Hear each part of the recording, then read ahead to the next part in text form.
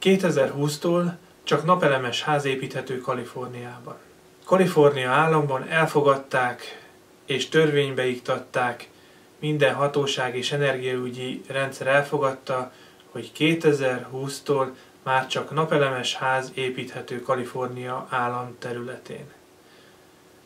Ugyan ez a plusz költség, melyet nagyjából 2,8 millióra ö, satszolnak, sok esetben nehezíteni fogja az új házak, épületek építését, lassítani fogja esetlegesen a piacot, de hosszú távon mindenképpen visszahozza, ugyanis úgy számolták, hogy körülbelül 30 év távlatába ez akár a kétszeres költséget is megtakaríthatja, mint ami a bekerülési ára volt.